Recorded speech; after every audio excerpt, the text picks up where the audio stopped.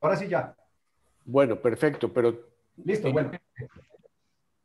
Sí, sí, Darío. Ah, el metabolismo, ¿estás viendo el metabolismo o no? Yo sí. Yo también. ¿Vas a decir algo ahí o sigo adelante? No, no, no, sí. O sea, vamos a comenzar con el, metabolismo porque el, término, el término que también se está utilizando actualmente relacionado con todos estos temas tiene que ver con el metabolismo.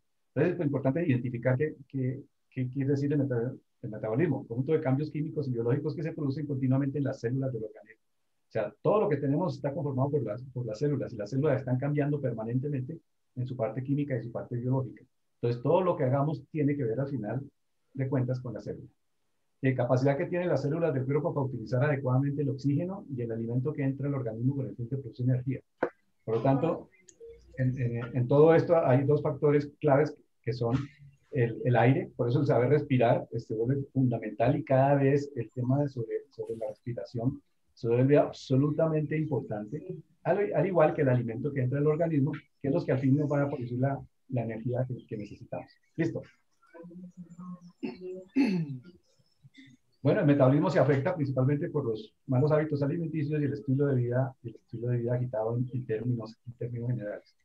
Por lo tanto, si, si vemos esas, dos, esas dos variables, eh, el 95, 97, 98% de los seres humanos actualmente sufrimos de esas dos de malos hábitos alimenticios y un estilo de vida muy, muy agitado. Por lo tanto, el metabolismo en la gran mayoría de las personas está desequilibrado. Es como el, carro que está andando mal sincronizado.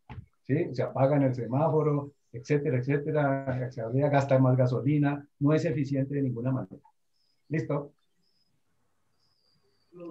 Es importante, y eso lo, mencionamos algo, la, ay, para echar para atrás.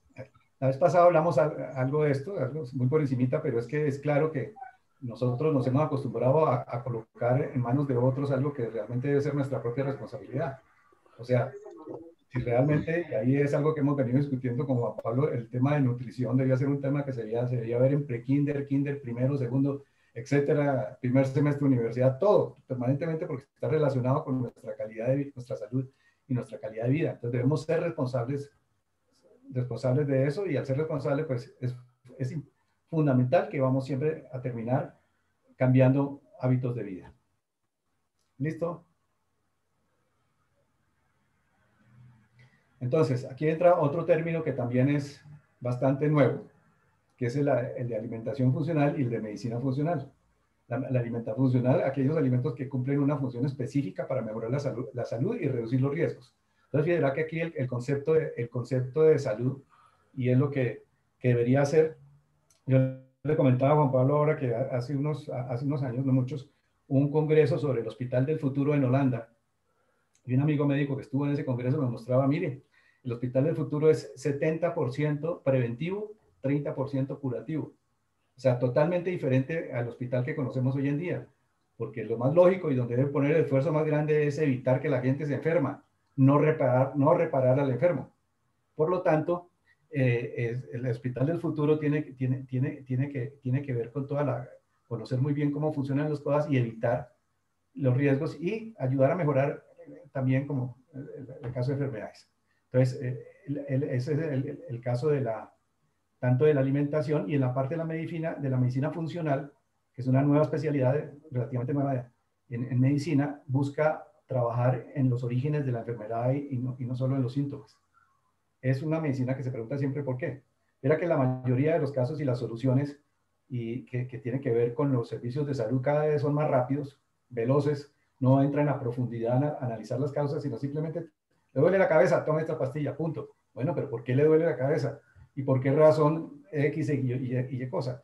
Y, y realmente eh, si encontramos y vemos lo que trabaja la medicina, parte de la medicina bioenergética, la medicina homeopática, la medicina ayurvédica, es que vemos al ser humano como un sistema complejo y no como, como una persona llena de partes que se pueden reemplazar, reemplazar y sino que todo tiene su causa-efecto ligadas entre ellas. Entonces es importante entender que estos son los dos aspectos fundamentales. En cuanto a la alimentación funcional, ustedes vieron hace dos, tres meses, Alpina compró una empresa de, de, de alimentos funcionales que viene creciendo porque estratégicamente se van a, se van a focalizar mucho en, los alimentos funcionales porque esto es el futuro en, la, en el área de alimentos. ¿Listo? Ahora, el funcionamiento armónico, como estamos hablando que es un sistema, quiere decir que absolutamente todo tiene que ver con casi todo. Estamos hablando de los, las, hormonas, los órganos, las glándulas. Sí, están íntimamente relacionados unos con otros. Y muchas veces los tratamientos han sido exclusivos. Por ejemplo, una persona que tiene un problema de ácido úrico, se trata el ácido úrico, pero resulta que el ácido úrico está afectando a su vez eh, los triglicéridos, por ejemplo, en el cuerpo. Entonces, eh, con la droga para atacar los triglicéridos no se está atacando la verdadera causa que está en ver cómo controlo o disminuyo el ácido, del ácido úrico. Existen pues, elementos, eh, las hormonas fundamentales, como el caso de la insulina. Sabemos que la, la relación de, la insulina, especialmente con la diabetes, en los últimos 50 años en el planeta Tierra se ha incrementado cinco veces el nivel de, de, de diabéticos en el planeta. Entonces, tenemos que analizar las causas de por qué está sucediendo eso. Cuando esta insulina se altera, ¿sí? altera otras cosas como la leptina. La leptina es algo que no es muy conocido, pero resulta que es una hormona que, controla, que, que, controla el apetito. La leptina es la que le dice al cuerpo, oiga, hasta aquí, hasta aquí llegamos, no más, ya está lleno. Pero si esa, si, esa, si esa leptina no funciona, es como si tuviéramos un indicador del carro que se está quedando sin gasolina y no nos dijera que, y no nos dijera nada. Entonces está afectando, entonces tanto la insulina con la leptina como el cortisol, el ácido úrico, el hígado, el páncreas, todo está íntegramente relacionado y el mal funcionamiento de uno de ellos puede afectar todo el sistema o puede aparecer, mejor dicho, el, el, el problema se reporta, se reporta en, en, una parte del cuerpo, pero resulta que la causa original está, puede estar completamente en otro sitio totalmente, totalmente distinto. Por lo tanto, el funcionamiento tiene que ser, tiene que ser armónico. Eso es como la, la orquesta que tocan, eh, tiene que tocar en la misma nota todas las 60 músicos porque con un solo músico que toque, que toque mal, pues la orquesta va a sonar mal y vamos a decir, pero, no, pero la causa puede estar en, otra parte. El síntoma se manifiesta en un sitio, pero la causa está en otro, que puede ser inclusive hasta la parte mental, emocional, espiritual. Por eso hablamos de este tipo de nutrición. ¿Sí, Alejandro? Ricardo, eh, es, es lo siguiente. Estaba pensando en todo lo que estás diciendo y pienso que nosotros estamos en un momento de vida donde comenzamos claramente en descenso, la parte física, pero claramente en la mayoría de los casos como que todavía son salvables muchos aspectos. Entonces, creo que este es un momento crítico y clave para poder abordar todos estos temas de la salud de una manera mucho más integral cuando todavía no es tarde en, muchos temas. Es, es, lo que se me antoja en este momento pensar. ¿No? Mira. Y no esperar a, que uno ya tenga, no sé, casi 80 años donde, donde digas, no, ya no hay nada que hacer. Alejandro, eso que estás diciendo es absolutamente perfecto. ¿Qué quiere decir eso? ¿Cuál es la razón de ser de que estemos metidos acá? Y cuando hablamos con Darío de la charla, es precisamente esa. O sea, estamos en un momento totalmente crucial y que si no le paramos bolas a esto, después ya, ya no le vamos a poder parar bolas. Dentro de la bibliografía vas a ver un libro un libro interesantísimo escrito por un, por un médico de Harvard, que un día comenzó a analizar todo, todo, todo el, el, el, el negocio fármaco y cómo ver que las que solucionaban ciertos problemas eh, muy superficialmente, pero los problemas seguían allá en el fondo. El tipo, el tipo escribió un libro que se llama Curación o Sanación Espontánea. ¿Sí? Diciendo, mire, hay, hay, la gran mayoría de las cosas que puede tener una historia pueden ser reversibles en el cuerpo. Por eso en muchos casos se ven, estuve, estuve viendo una, una presentación de una doctora, una médica que hizo su doctorado sobre la remisión espontánea. Y la remisión espontánea definida como aquellos casos que hay una persona totalmente desahuciada y se mejoraba. Y se mejoraba totalmente. ¿Qué pasaba? ¿Dónde estaban las condiciones de algunas cosas? O sea, el cuerpo por naturaleza, si le genera las condiciones mentales, emocionales y físicas adecuadas, tiene la capacidad de mejorarse. Y, es una, ese fue su doctorado, 2.500 casos de remisión espontánea los pudo e, evaluar y tratando de encontrar que eran los mínimos comunes y tienen que ver con lo que estamos hablando. Cada uno tomar la decisión de su responsabilidad y saber que, que, que, por ejemplo, ahí hay otro libro, que las células escuchan cuando nosotros hablamos y nosotros somos pesimistas y le hablamos a las células, ¿qué pasa? Las células se vuelven pesimistas también, ¿sí? ¿Qué pasa si, si, o sea, es totalmente integral y todo escucha? Entonces, debemos sabernos hablar qué es lo que nos decimos a nosotros mismos, qué es lo que comemos, cómo, cómo emocionalmente no nos dejamos a, afectar.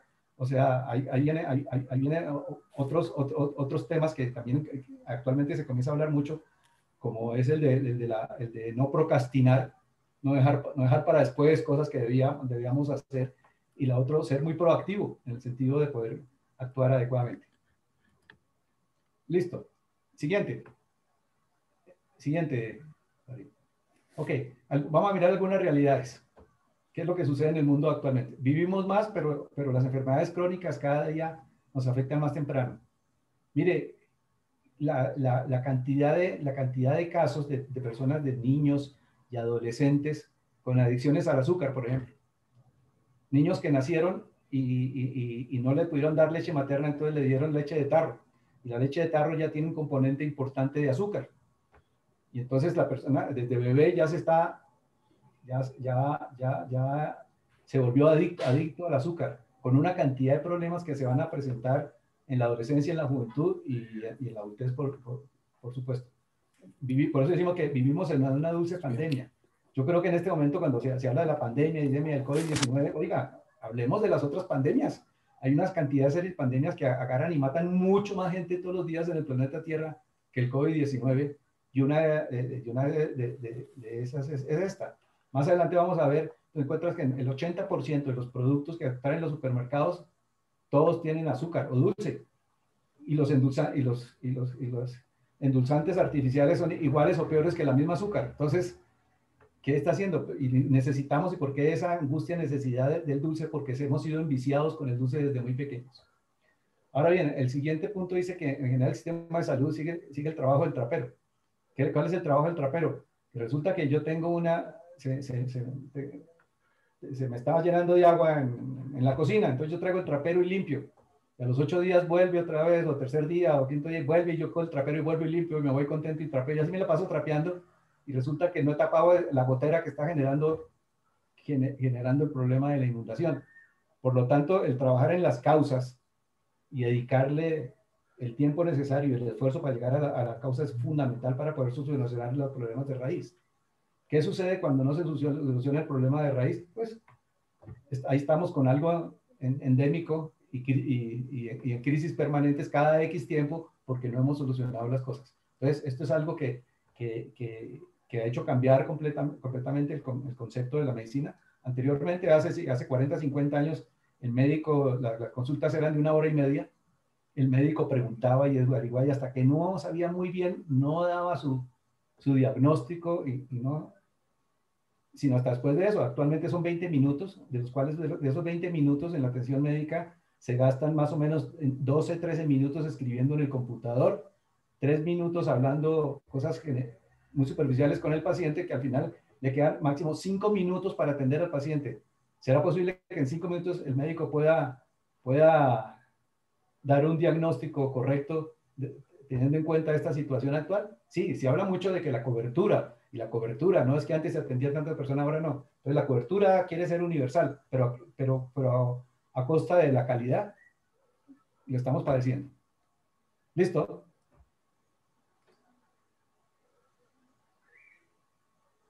Bueno, esto es consecuencia de lo que ya hablamos. Eh, este, el siguiente punto es bien interesante que a veces muchas, dedicamos a, cuidar muchas cosas que no somos de nosotros. Se daña algo que no está funcionando bien, un electrodoméstico, el, carro, inmediatamente lo llamo al taller y que, lo arregla, pero resulta que cuidamos más, más el motor del carro que nuestro propio motor. Es como una frase como decir, oiga, gastamos una cantidad de cosas en las casas y cosas materiales, gastamos cantidades de cosas. Y resulta que nosotros mismos estamos, descuidamos, no le damos, es una cuestión de, de prioridad. Por lo tanto, el siguiente es una consecuencia. No podemos perderle la curiosidad ni el interés. Debemos tener valor y la humildad de desaprender un concepto y reaprender uno nuevo, porque muchas de las cosas relacionadas con la alimentación tienen que ver con, yo le digo, yo le pongo el nombre de dogmas falsos, como vamos a ver ahora. Y esos dogmas falsos tienen que ver con la cantidad de carreta y, y cosas que nos metieron de dichos que eran como un dogma y resulta que son falsos. Entonces tenemos que reaprender eso. ¿Listo?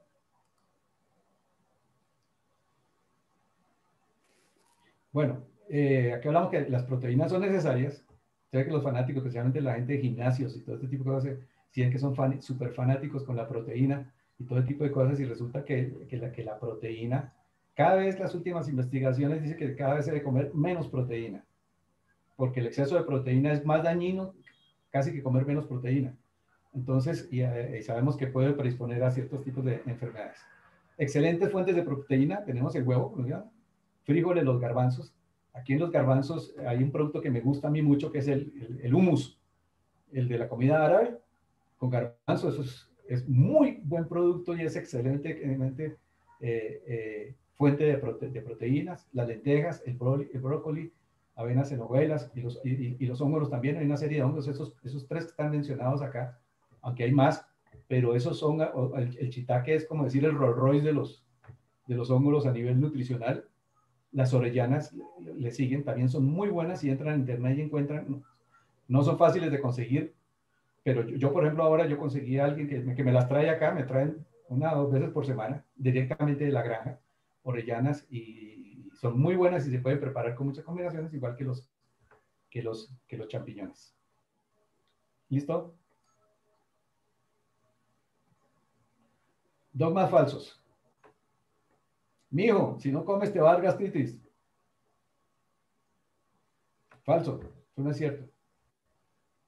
Yo le comentaba y charlamos ahora con Juan Pablo algo así, que los, estudios que se hicieron durante la Segunda Guerra Mundial y después de la Segunda Guerra Mundial de las personas que salieron, entre comillas, medio ilesas, si se puede decir, de los campos de concentración, se encontró que tenían muchísimo mejor salud las personas que salían, que eran presos en el campo de concentración, que muchos de los alemanes que los cuidaban los que estaban en el campo de concentración tenían una, una dieta súper, demasiadamente rigurosa, casi que no comían, mientras que los otros, los otros comían en exceso. Y resulta que los problemas de salud y cardíacos, especialmente de los soldados alemanes, eran mucho más graves y casi ninguno de los, de los que salían de los campos de concentración tenían esos problemas.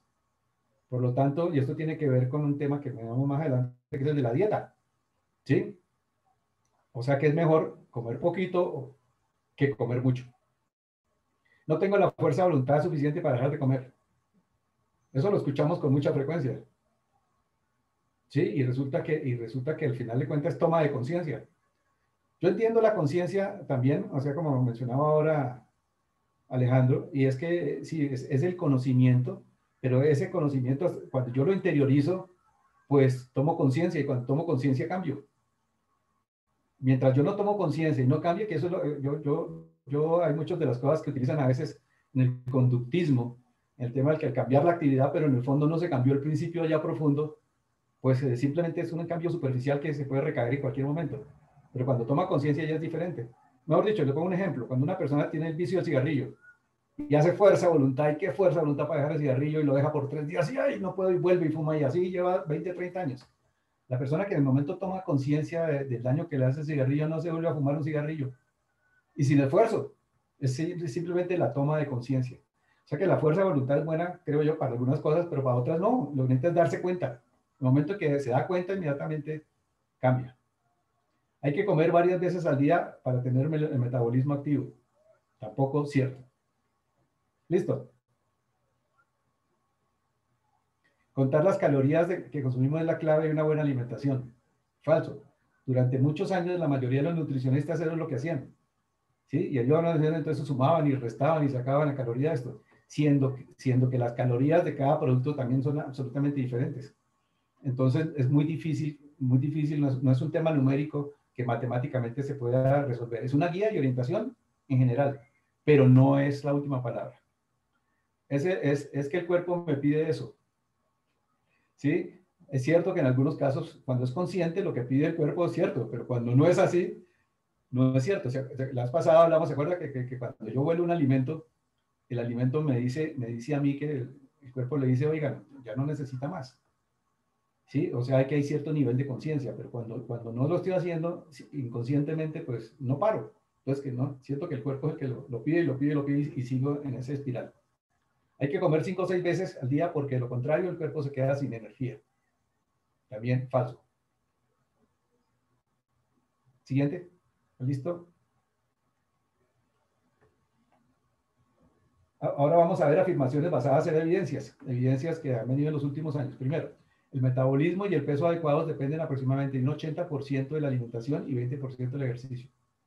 O sea que cuando dice que totalmente leer, de gente que dice 80% de ejercicio, 20% de alimentación y comienzan a dejar de comer una cantidad de cosas y resulta que, lo que han hecho es un desbalance, desbalance total, siendo que lo que debe comer es primero comer bien y acompañarlo de ejercicio. Por eso dice que no se trata de comer menos, se trata de comer mejor. Bueno, el siguiente ya, ya lo hemos hablado, el caso de la diabetes. Entonces, mucha gente dice, no, el azúcar, el azúcar elevado en la sangre no es el problema. Realmente esta es la consecuencia. ¿De qué? De que hay un desorden metabólico generado por la insulina. ¿Ok? O sea que el problema no es el azúcar, o sea, es, es, algo que está detrás. Y detrás está el funcionamiento metabólico. Ahí es donde está el problema. Los niveles de insulina mejorados mejoran indicadores de colesterol, triglicéridos y azúcar en la sangre.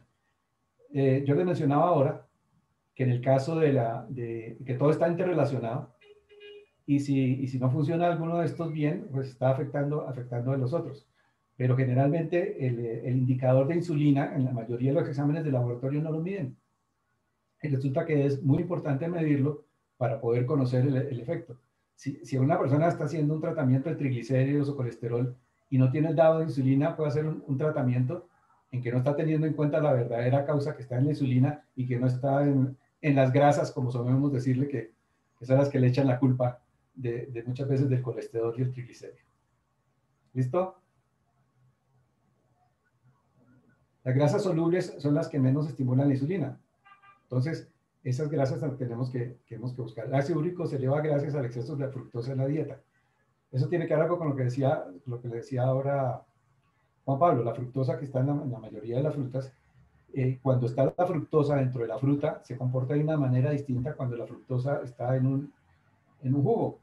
Porque en el proceso de la producción del jugo, primero ya le, ha sacado una cantidad de, de, fibra, digamos en el, caso, en el caso de una mandarina, por decir algo. O sea que es mucho mejor comerse la mandarina que tomarse el jugo de mandarina. Y creo que además sale, si ustedes saben el precio de la, del jugo de mandarina en un restaurante, es, es, bastante carito. O sea, con lo que compra uno un jugo de banana se puede, se puede comprar casi una caja de mandarinas. Entonces, eh, y es mucho más nutritiva la fruta, sí. El ácido úrico se convierte también en un factor de riesgo cardiovascular. Mira que el ácido úrico, sí, va a trabajar, vamos a trabajar el ácido úrico, el problema de la gota y la cosa en el nótico, pero ese ácido úrico está generando una serie de, de efectos, de efectos eh, podemos decir como secundarios o efectos dominó que están produciendo que no, que no, que no son, somos conscientes. ¿Listo? Ahora viene otro, otro problema que, que comienza a hablarse, a mirarse, que tiene que ver con los transgénicos. Aquellos, aquellos alimentos que han sido manejados eh, genéticamente. Transgénicos y procesos añadidos, sí, con nitritos. Sabemos que, por ejemplo, la mayoría de las, de las carnes frías llevan nitritos y cantidades de nitritos y aquellas que necesitan poca o nada refrigeración, como el famoso salchichón que comíamos en la época del colegio. Salchichón con el pancito y una colombiana, que eso era una de las, de las once. Pues resulta que los salchichón, se imaginan usted un salchichón colgado en una tienda que no le tiene refrigeración y que supuestamente tiene carne, ¿qué tiene para que no se dañe? Una carga exagerada de harinas y de nitritos. Ricardo, Ricardo, disculpe, a Serrano y esas, esas, esas esas carnes españolas buenas, no sé, ¿qué, qué, qué tal? ¿Qué? Porque a mí no, me encanta.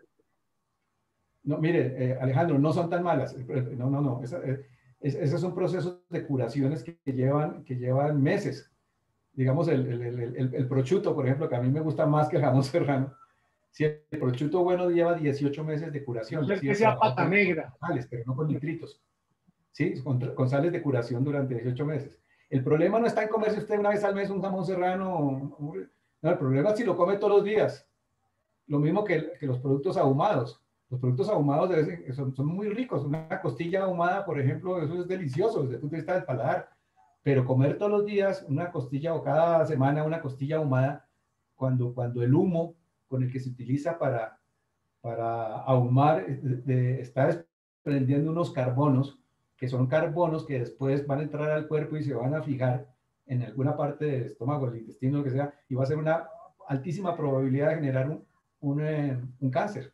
Entonces el problema, el, el, problema es del, es del, hábito, es del vicio. O sea, lo que está claro para mí es que de vez en cuando si va a hacer uno alguna cosa, hágala, disfrútela, cómaselo con toda la gana. El problema es que ya si se vuelve, se vuelve el vicio de todos los días.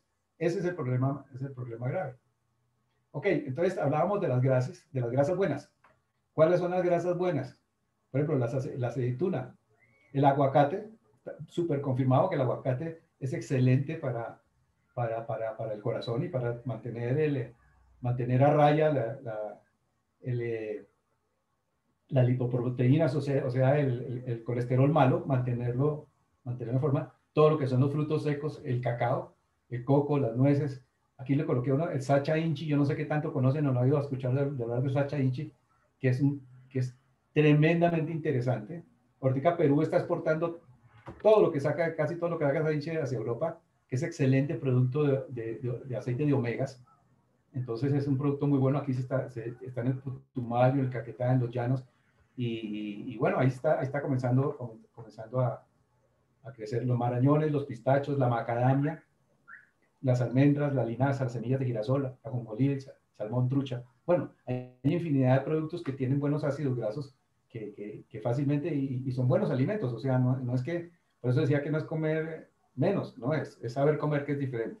Ricardo. Y, y la conclusión es que las grasas, a pesar de toda la campaña que le han hecho en los últimos años, las grasas son absolutamente necesarias. O sea, una persona que no come nada de grasa, de productos de grasa, va a tener serios problemas en salud.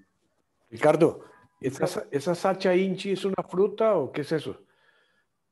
No, la sacha inchi es un producto, es muy parecido como al maní. Oh, okay. Sí, es, pare, es, parecido, parecido al maní. Tiene, viene, viene su caparazón, viene con, un, un, por grupitos como de 5 o 6 pegados, ¿sí? cada uno con, con, su, con su cáscara y, la, y, adentro, y, adentro se descascara y, el, y, el, y, este manicito que queda de ahí se procesa, se puede sacar harinas, se puede sacar eh, parecido al, al, mismo maní y se tuesta y se puede o el, o, el, o el aceite o el aceite de, sasa, de sacha inchi que es el que se, se está, está reemplazando mucho estos aceites de maíz, de canola, de soya, porque son el, el, el, maíz, la soya y la canola son, son en la mayoría, la gran mayoría en el mundo son transgénicas y tienen exceso de omega 6. Entonces, no es que el omega, el, el, los omegas, como todo, es, omega 6 es bueno, pero en su debida cantidad. Entonces, cuando hay exceso, pues es malo. En cambio, el, el de Sacha Inchi es excelente. Un saludo muy cordial, un saludo para todos, muy cordial. Eh, Ricardo, eh, me han dicho que la, el cuero del pescado, la grasa del cuero del pescado es, es grasa buena, ¿sí es verdad? En general, sí. Sí, no, en general la, la, lo que estamos hablando de, la, de, de, de las, las, de, las, grasas, eh, digamos que, digamos que aquellas que se convierten, en, digamos, a ver, vamos a poner un ejemplo, hay cosas que comemos, el azúcar y la harina en el proceso interno metabólico se vuelven grasas. ¿Sí me entiendes? O sea que es más mala la grasa que viene, entre comillas, de, comer muchas cosas con azúcar, ¿sí? Que luego se convierten en, en grasas en el cuerpo. Eso tiene una explicación que en el fondo es muy sencilla. Resulta que esta, todo esto, todo esto, este, estos dulces y estas harinas llegan al hígado. Y, el, y, y en el hígado, en su, proceso, el, el, hígado, como, como fuera un tanque de gasolina, absorbe una cantidad. Pero el exceso, el exceso, el, el hígado lo lanza al sistema sanguíneo en el cuerpo en forma de grasa. ¿Sí? Entonces produce esa, esa, esa, esa, esa, transformación. Entonces, en el caso del, del, del, pescado en general, en general, bueno, si va a comer eh, todos los días eh, la piel del pescado, entonces pues va, va, a llegar a un nivel de saturación, como puede suceder con el caso del azúcar o de las, harinas, pero en general no tiene problema. El problema del pescado sí es, el, el problema serio del pescado es el pescado, por ejemplo, que, que, es de, que es de río y a ese río le llegan todas las cloacas de no sé cuántos pueblos y encima de eso tienen eh, un nivel de, de plomo dentro, que ha sido parte de la alimentación del pescado, ese pescado sí es muy serio. Por lo tanto, el pescado, el pescado típico de, de, de río, pues hay que, hay, hay, que, hay que tenerlo bien. Los expertos recomiendan que ese pescado sea certificado de, certificado de que no contiene, de que no contiene plomo. Porque, porque hay muchas, por ejemplo, Eh, en el caso del río Bogotá, por ejemplo, el caso del río Bogotá, por la, cuando pasa por Venta Quemada, ¿sí? donde hay una cantidad de curtientes, la cantidad de químicos que se utilizan para, para curtir el cuero, van a caer el río Bogotá. Ese río Bogotá sigue su, sigue su camino y luego llega a Bogotá y le llega cantidades de desechos de, más curtiembres y de mucha industria, y luego que más adelante se come un pescadito que estaba en el, en el río Magdalena, que eso lo llevó toda la desembocadura de ese río Bogotá. Entonces la probabilidad de que ese pescado esté contaminado y sea malo para la salud es, muy alta.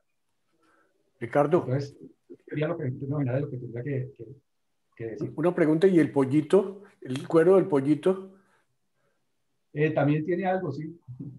de vez en cuando, de vez en cuando esa grasita no, no, sienta mal, pero ya si se come en exceso, pues es mejor si, si es, mejor las grasas vegetales que estamos hablando, hablando acá. Por ejemplo, eh, eh, utilizar, utilizar el, el, el, aceite ese que llamamos de sachaichi, el aceite de oliva, por ejemplo, ese tipo de, ese tipo de aceites son muy, muy, muy buenos y no, y no tienen ningún tipo de, de contraindicación desde el punto de vista del, del, del, colesterol. Ok. Oye, Ricardo, Ricardo, uno, eh, una vez yo escuché lo siguiente, de pronto fue, puede ser brutísimo lo que voy a decir, pero aquí estamos en confianza. Dice que eh, eh, distintos, distintas clases de animales tienen distintas temperaturas corporales. Entonces, vamos a hablar de los cerdos, vamos a hablar de las vacas, vamos a hablar inclusive de, las aves. Dicen que la temperatura promedio de ellas son más altas que las, de, que las del cuerpo humano. Por lo tanto, cuando uno consume ese tipo de grasas, no se vuelven solubles a la temperatura del humano y por eso tienden a ser de una mayor densidad. Y entonces esa es la grasa mala. ¿Eso es carreta o, hay algo de cierto ustedes que se han estudiado? Es, es la verdad. Fíjate, eh, no, mira, por ejemplo, los pescados. La grasa de los pescados, los pescados, ni, ni mucho menos la temperatura nuestra. Fíjate que la grasa de los pescados, cuando uno las consume, pues se, se, diluye nada más por, por, simple temperatura. Estoy hablando, de nuevo, por favor, a lo bruto, pero, pero eso, ¿y por qué las, y por qué las vegetales también? A no ser que sean hidrogenadas como, como son las, sí. estas, eh, ¿cómo se llaman? Eh, pues no son grasas malas. ¿Qué, ¿Qué de cierto es en eso que uno ha escuchado? No que ha estudiado, sino que ha escuchado. Adelante. No, pero realmente no, realmente yo no, bajo esa pregunta directa no, yo no lo he visto en ninguna parte. Sí la he escuchado también hace algún tiempo, me dice, ya, ya creo que la había medio olvidado, pero, pero en el fondo creo que tiene lógica. Tiene lógica por lo, por, lo, por lo siguiente. Yo creo que tenemos que hablar un poquito de la parte de la química, del concepto de la viscosidad. ¿Sí? ¿Se acuerda? La viscosidad, la densidad es igual a la masa sobre el volumen. Ta, ta, ta, ta, ta, ta, Por lo tanto, si yo te... Recuerden que yo, eh, los dos somos ingenieros de los viejos, entonces la cabeza de nosotros funciona con una lógica rara. Y nos acordamos, gracias a Dios. entonces, bueno, volviendo al tema de la densidad, si yo, si llega a mi torrente sanguíneo, algo que tiene una densidad más alta de la densidad típica con la que fluye la sangre, pues ¿qué, va, qué va, puede pasar? Eso es. simplemente por deducción lógica de química, y si metemos bioquímica, la cosa pues debe ser mucho más, más, más y hasta, hasta allá no llega tampoco nuestro conocimiento. Pero por lógica sí debe ser así. Y por último, me encanta el cacao. No sé, no sé si están viendo por acá eh, eh, la, esta, esta, esta, la, la, cajita. Esto, esto, cuando tú pones ahí el cacao, quiere decir que yo puedo seguir comiendo de vez en cuando un pedacito de cacao. Mire, el cacao negro. Este, este es 75 cacao. Este, este es negro. Chocolate sí, exacto. Ricardo. Exacto. Sí, sí, el cacao. Ojalá, ojalá algún día llegara que se vendiera todo sin, sin azúcar y que uno mismo mirara cómo se lo endulzara. Y uno lo, inclusive, lo que sucede con el café y con el cacao es que uno está tan enviciado con el dulce, pero el día que comienza uno a quitarle el dulce al café, por ejemplo, y luego ya se lo toma, con, ya después se lo toma, inclusive se saborea mucho más el café, porque antes el mismo azúcar o el dulce le quita el sabor natural al que tiene el café. Con el cacao pasa exactamente lo mismo. El cacao, el cacao negro es muy bueno para muchas cosas. Una de ellas es para la, para, la hipertensión, por ejemplo. Entonces, el cacao, el cacao así como se llama así, es natural. Y entre menos mm, tratamiento y menos cosas, nada raro tenga para ir metido, ni nada de azúcar, ni dulce, es excelente. Yo cargo a veces paqueticos, eh, pedacitos. Tengo una señora que saca el, con el molde de las pastillitas de cacao, cacao negro totalmente sin nada de dulce y alguna cosa, y de vez en cuando se comen un pedacito de cacao, de cacao eso, y eso le ayuda a estar regulando. Por eso el cacao está por aquí arriba, si ve, de la parte de las grasas buenas, el, el cacao eh, tiene una, una, una, una, grasa buena. Pero no las chocolatinas que van a encontrar en el supermercado, que es 80% azúcar y 20% cacao, porque ahí sí estamos. Prende el micrófono. Está así, 75 cacao, negro. Ojalá fuera 90. Sí, lo ideal, es que se va aumentando. Listo, muy bien. Listo. Grasas, grasas que se recomiendan excluir de la dieta. Maní, mantequilla de maní, aceites de girasol, de maíz, de canola, de margarinas, todo lo que tenga grasas trans, todas las grasas hidrogenadas, todas las, las frituras industriales. O sea, no podemos llegar al extremo. Mire, mire, mire lo que está sucediendo ahora, que ya no estamos, para mí estamos yendo, ya se estaba pagando a, todas las freidoras de aire. ¿Sí? Ya que, para, no, que no lleva nada, ni gota de aceite, ni nada. No, la grasa se necesita. Algo, lo que pasa es que utilicemos la grasa que debe ser. Entonces, entonces como la grasa se quedó esa fama, entonces las, las, las freidoras de aire están cogiendo una fuerza y quedan bien y están muy, y funcionan. Pero no podemos abandonar la grasa. O sea, eh, mira, los expertos que yo he hablado dicen, oiga, usted ya, algo que ya comer usted todos los días es aguacate. ¿Sí? Y tener una, una pedazo de cacao de este, y tener nueces ahí para comer usted nueces o macadamia o cosas que debe y estar comiendo permanentemente, porque esas son las grasas buenas que necesita. Si es que yo voy a abandonar completamente la grasa en, en, en, en el almuerzo, en la comida, lo que sea. Ricardo, tema tiene que ver con la fibra. ¿Sí? La fibra, la función principal de la fibra es que ayude a barrer las cosas que no deben estar para que fluyan más rápido. Por eso la persona que consume buena cantidad de fibra, ¿qué, qué sucede? Generalmente su digestión funciona, funciona muy bien. ¿Ok? Pero tampoco en exceso. Ahora bien la persona dice, no, ahora todo tiene que ser fibra. Y entonces, pues, entonces le, le barre no solamente lo, lo, que no debe salir, sino también le barre lo bueno. ¿Por qué? Porque se le fue la mano como si le aplica uno demasiado detergente a algo, demasiado a, algo para quitar pintura de algo y le, meto un, disolvente muy fuerte. ¿Qué estoy haciendo? acabando el material sobre el cual está la pintura. Entonces hay que, hay que manejarlo con manejarlo discretamente. Juan Pablo. El micrófono, libera el micrófono, Juan Pablo.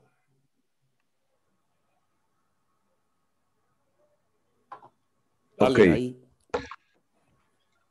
Ricardo, permíteme hacer una paréntesis en este momento y quizá dentro de nuestras previas charlas no tocamos, no viene a, asociarse con, esto, pero ahora que Alejandro está hablando del cacao, eh, el mismo café, la misma cúrcuma, el mismo jengibre y algunas plantas como por ejemplo el romero, lavanda, Em, en pocas palabras, lo que quiero hablar es que no nos olvidemos de alimentar nuestro cerebro y nuestro estado emocional a través de la aromaterapia, donde hay una riqueza, eh, la cual no, si bien conocemos los aromas, no conocemos los efectos de esos aromas y son absolutamente elementos que inciden dependiendo la hora en que tú quieras olerlos, pero hay que tener una, una, disposición para el momento en que se haga. Un cacao no es lo mismo olerlo en una pastilla que, en polvo. Igualmente un café recién molida, la pepa, que, que oler el, el café molido hace, es decir, comprado molido, y estos son unos eh, temas para algún otro momento ya individual que cada uno quiera ah, tenga bien profundizar un poquito sobre el tema de los efectos de, de, aromaterapia. Ahí les dejo el niño con ese temita del cacao y otras sustancias que nos pueden alegrar el alma. Eh, buenísimo. Ricardo, una pregunta antes de que sigas. Eh, disculpa si es muy, muy inocente, pero mis adoradas crispetas, esa vaina, ¿eso en qué va? ¿Eso es grasa o, eso en qué? Porque yo me las como aquí con un complejo de culpa al berraco y, y, resulta que puede ser hasta bueno. Cuénteme. hay, dos. Ahí están las del horno microondas y las de aceite. Eso. Ah, a mí también me encantan, Darío. Nos damos la mano. Bueno, hay, hay, dos factores. Primero, las crispetas es un maíz. Lo importante es que ese maíz ojalá no sea transgénico. Número uno. O sea, que sea un maíz de semilla normal. O sea que como, como crispeta como tal no tiene el problema. El problema que tiene la crispeta es el, el, aceite que utiliza para, para, para, para producir la, la, crispeta. La mantequillita. Las crispetas como tal no tienen problema si no son transgénicas. Pero mejora el aceite que utilizas para hacer la crispeta. Y, listo. y las de microondas, esa vaina como... Ah, bueno, bueno, bueno, segundo, sí. No, en general, yo hace, yo hace que, ya como unos 10 años no tengo horno microondas. Ya yo no utilizo mi horno microondas para nada y, y, trato de utilizarlo muy poquito. O sea, cuando voy a algún sitio y me van a calentar algo con microondas, pregunto si no hay horno o alguna cosa así. No, está muy frío, no, entonces me lo como así. Es que los problemas, los problemas de radiación ¿sí? Ahí tenemos que meternos un poquito en el, en el tema electro, de electromagnéticos. Por ejemplo, simplemente de una comparación. Eh, un transformador de energía que esté a menos de 50 metros de donde uno trabaja, donde uno duerme, no es absolutamente nada recomendable. En Rusia, por ejemplo, es prohibido, totalmente prohibido. Nadie vive a menos de 50 metros de un transformador, porque el transformador, el transformador los campos magnéticos que produce, puede descuadrar y desbalancear la parte fisiológica de las personas. Entonces, la, radiación, la radiación que se genera eh, con el simple celular, inclusive, que pues, es muy baja radiación, pero se produce radiación, eh, lo ideal es que esté lo más lejos posible del cuerpo. Entonces, si yo estoy utilizando permanentemente un, horno micro, microondas y, y, la posibilidad de que esa radiación esté saliendo y llegando, de todas maneras, en el momento, así este sea hermético, en el momento de abrir y cerrar el horno, en ese momento alcanza a ver escape de radiación. Número uno. Número dos, al hacer la radiación hay mucha desnaturalización de proteínas y de vitaminas en, el en, lo que salga. Por eso hay cosas que no llegan en el horno microondas y las calienta después le tiene un sabor como, como raro, distinto de lo que tiene el producto porque se han desnaturalizado aquellas cosas. Por lo tanto, en general, creo que, primero que el aceite que utilizo para hacer eh, las palomitas de maíz sea bueno y segundo ojalá la, hágalo en una en cualquier olla normal. Yo lo hago en una olla normal normalita sí y, listo yo también como cada vez pues esa costumbre de ir al cine y comerse unas buenas crispetas es, es una costumbre muy sabrosa y muy rica. Yo no he probado. normalita. Una, que no sea que no sea de aluminio. perdón una pregunta para Juan Pablo tú, tú que también como Ricardo eres súper curioso y estudioso en estos temas, eh, ¿has estudiado y has visto lo mismo con respecto a la utilización del microondas y la preparación de los alimentos? Porque yo, un poco en paralelo a lo que tú decías, Ricardo, de lo de las ondas electromagnéticas y todo eso, también eh, durante mucho tiempo se prohibió que se construyeran casas donde viviera gente debajo de las líneas de alta tensión, porque se creía inclusive que, generaba cáncer, que, provocaba cáncer en las personas.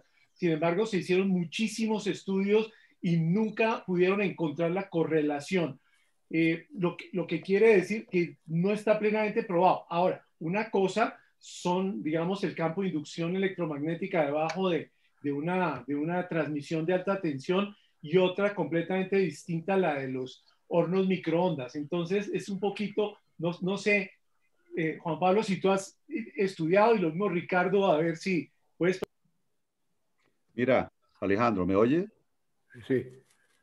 Eh, no soy tan escéptico, eh, tampoco cocino, por decir así, procesos largos, pero sí caliento, caliento, pero siempre con la protección, con un protector que no sea directa la comida pues al, a, la cavidad pues en sí del horno, sino venden protectores que son chimbos, pero, pero también venden protectores que tienen su coraza seguramente por esa misma razón que de la cual habla Ricardo, para que las propiedades de los alimentos se conserven eh, de una manera que no las, que no las dañe. pero no dijéramos que sí tengo, sí tengo horno microondas y no, no vamos a decir que lo uso con frecuencia. Cosas muy, como digo, para calentarlo de rapidez protegida la comida. Oiga, eh, perdonen que, que, meta la cucharada tanto, pero es que eso del electromagnético y vainas de esas, lo que me preocupa ahora es que eh, eh, pues yo tengo que cargar el reloj, el, teléfono, los, los, audífonos, los audífonos ahí en la, en la mesa de noche al lado de donde yo duermo. ¿Esa vaina no es la misma vaina? Es mejor que duermas en otro lado. No, eh, eh, sí, sí, sí, sí está demostrado que, que eh, se deben dejar cargando esos aparatos como, como el iPad, como el iPhone, como bueno, todo lo que son estos tipos de aparatos lejos y ojalá de noche que, quede, que queden, no sé, a dos, a tres metros por lo menos para, para evitar esos campos. Eso sí, de verdad, es, es, es, lo que recomienda la gente que sabe. Mire, yo no, yo no sé qué tanto, este tema, este es un tema de, de alta discusión y como decía Alejandro, ha habido cantidades de estudios y cantidades de cosas y aparentemente, aparentemente como, como ha habido muchos estudios que dijeron que el azúcar era muy buena y eso era excelente y, y la Asociación Americana de, de, del Corazón en Estados Unidos dijo que el aceite de, de, maíz y de soya era buenísimo y que eso era lo que había que consumir patrocinado por la misma institución y luego años después se encontró que, estos, que, que, eso, que, eso no era, que eso no era cierto. Además, los estudios eran patrocinados por las fábricas productoras de, de ese tipo de aceites. Y sabemos que así funciona muchas de las cosas en nuestro, en nuestro medio. A mí la, la, la, filosofía es la siguiente. Primero, si uno lo puede evitar, sea cierto esto, pero si lo puede evitar, pues evítelo. Segundo, el uso casual, como decía, como el caso, del caso que mencionaba Juan Pablo, pues eso no tiene mucha, seguro que es mínimo, casi tirando a cero, y la incidencia. El problema es cuando ya lo uso yo todos los días. Tercero, eh, lo que acaba de decir Alejandro, sí, yo lo último que hago es que, yo apago el, apago el celular. Antes de acostarme lo apago el celular y, y el, televisor lo saqué del cuarto porque lo tengo en otra parte. De todas maneras que cuando voy a descansar, ese voy a descansar. Yo aquí me desconecto del, de absolutamente de cualquier cosa eléctrica. Es más, en este momento he estado estudiando y después más adelante, quiero les cuento, les mando información sobre la conexión a tierra que debía estar uno conectado a tierra el mayor tiempo posible. Entonces ya están sacando cosas como almohadas para conectar conectado a tierra, eh, tapetes para estar uno trabajando en el computador y los pies descalzos con la tierra y los resultados ya con, con evidencia científica, científica son excelentes para reducir el estrés, para dormir mejor, para, para desinflamar. Y yo tengo un libro muy bueno que, si, que, eh, está en inglés, que se los hago llegar, que, que, se lo envió a mi hermano médico, mi hermano mayor médico, estuve leyendo y me dijo, oiga, qué vaina tan, de lo mejor que he leído con respecto a la salud. Qué bien. Y tiene que ver con eso. Entonces, la, la, política es, oiga, mire, ok, si yo lo tengo que hacer absolutamente necesario, ¿qué pasa con el microondas? No, es que todo lo que sea rápido le facilita uno la vida. Sí, es por, precisamente por el ritmo de la vida, entonces no tengo sino un minuto para calentar el café. Entonces, esa vaina, mientras se calienta ahí en la estufa, se demora tres minutos, entonces más bien que se demore uno, entonces me queda más fácil meterlo al microondas pero eso es del estilo de vida. Perfecto. hay cosas que le facilitan a uno la vida, pero, pero, pero, pero, pero, pero. Gracias. Bien. ¿Seguimos? Sí, listo. Vamos a entrar al tema del ayuno. Sí, la pasada, eh, eh, creo que Rigoberto fue el que preguntó sobre el ayuno. Entonces vamos a mirar. En general, es recomendable. Si una persona tiene algún desajuste metabólico, es mejor asesorarse a un especialista antes de empezar. ¿Por qué razón? Porque si estoy desbalanceado y no como, pues eso me puede generar problemas.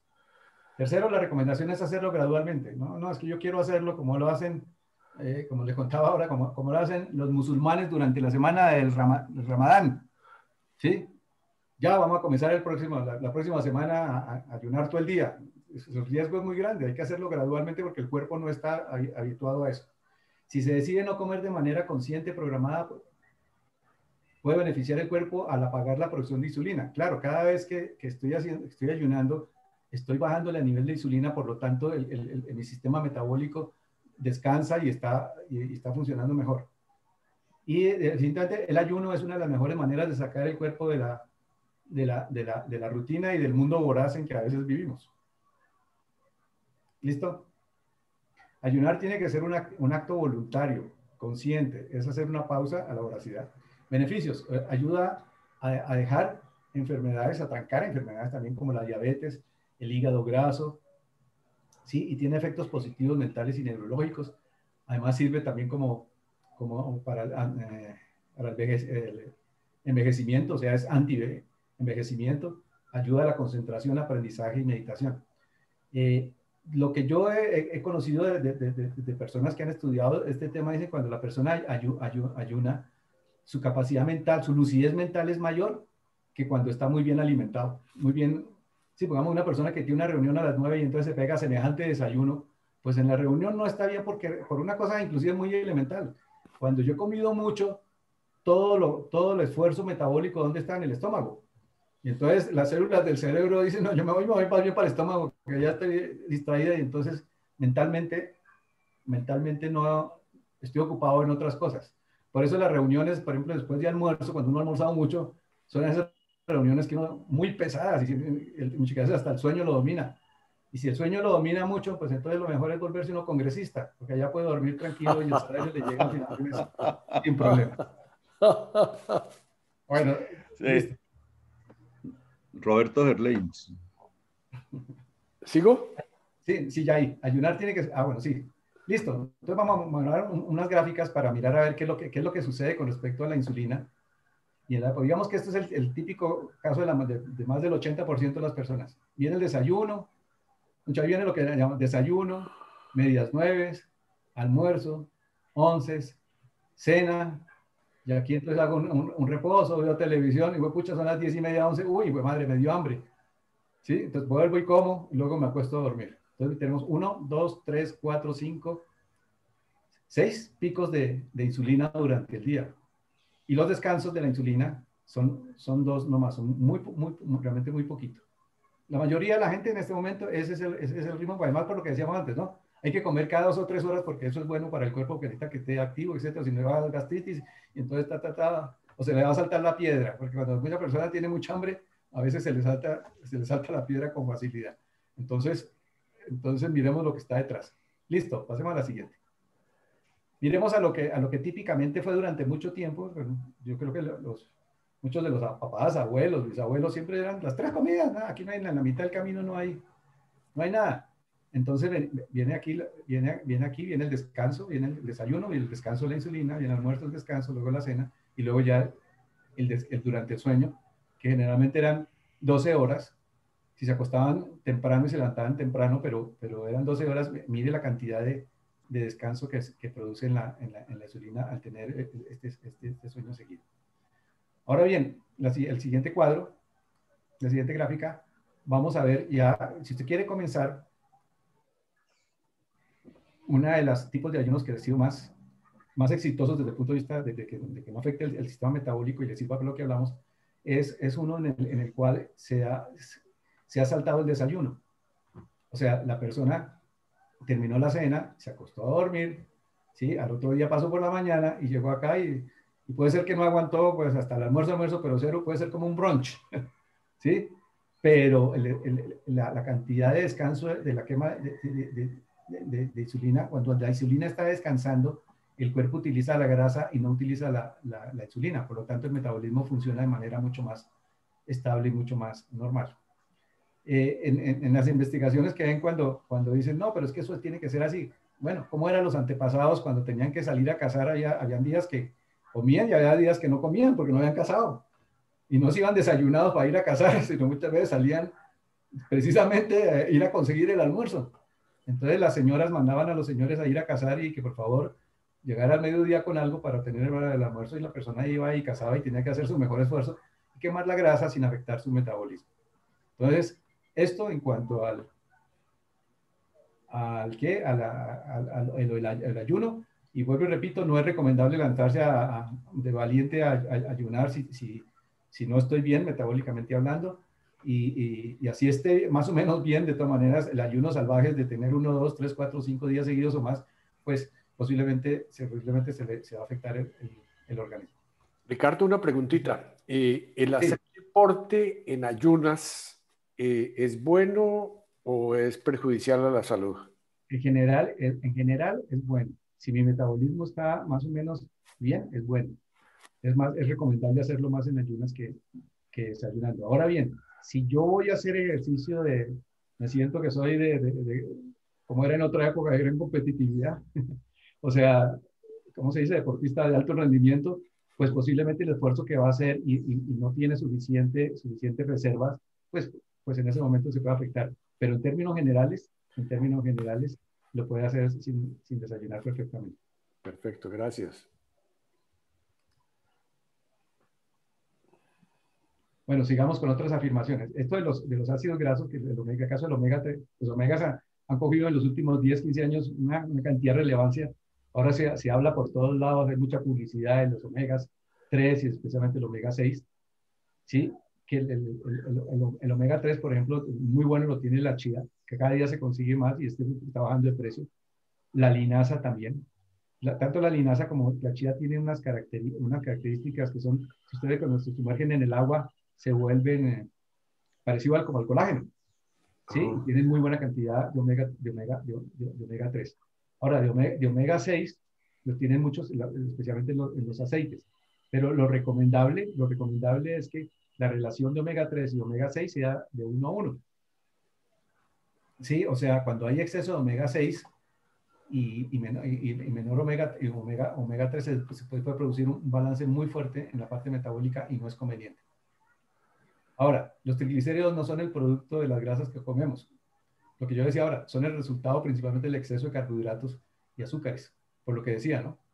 Exceso no cabe en el hígado, entonces el hígado lo sale y lo lanza como grasa. Entonces dice que no, entonces los triglicéridos, el problema es la grasa, entonces hay que dejar de comer grasa. Pues el problema no está en la grasa, sino el problema está en los azúcares. ¿Listo? Carbohidratos. Perdón, una pregunta, Ricardo. Sí, Juan Pablo.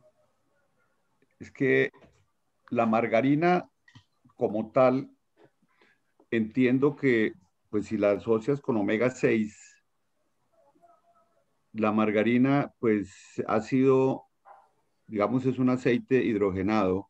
Sí, correcto. Entiendo que pues dentro de la química le faltan pocas moléculas para hacer plástico. Sí de cierta manera, pues es uno de los generadores de triglicérido por, por, esa misma razón.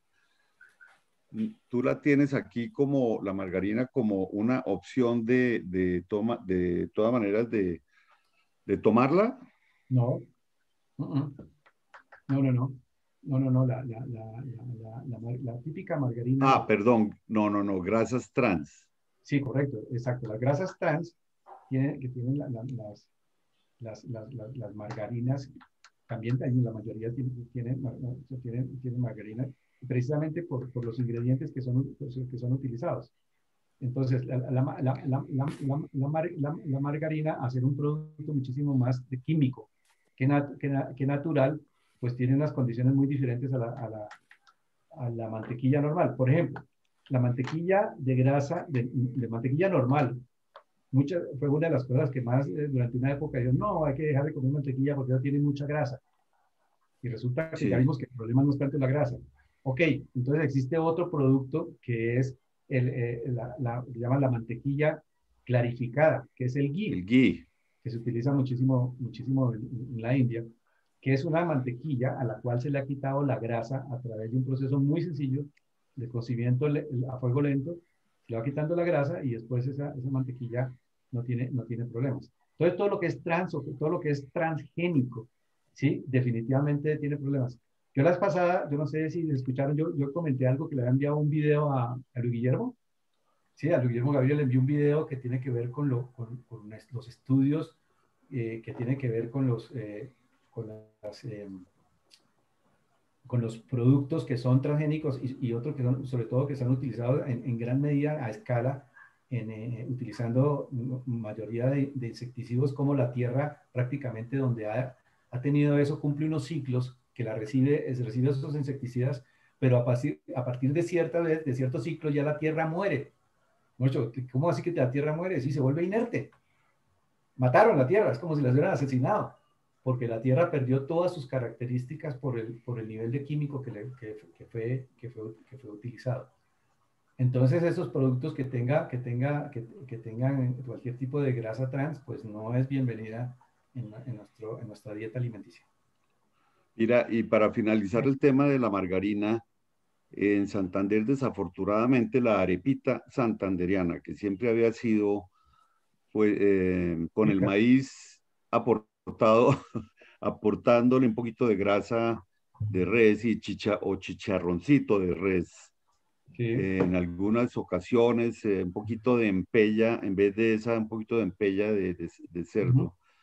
Pero con el tiempo, pues obviamente la margarina, con, con, con el precio de la margarina versus la mantequilla, eh, la gente, o versus cualquiera de estas otras grasas, empezó a ser el producto graso, pues que se le integra a la arepa santandriana, no en el 100% de los casos, pero sí de una manera comercialmente hablando muy, muy elevada, es decir, en los restaurantes, en las cafeterías, en los sitios donde trabajan, como decir, al ahorro para el costo del, de bajo del, del producto.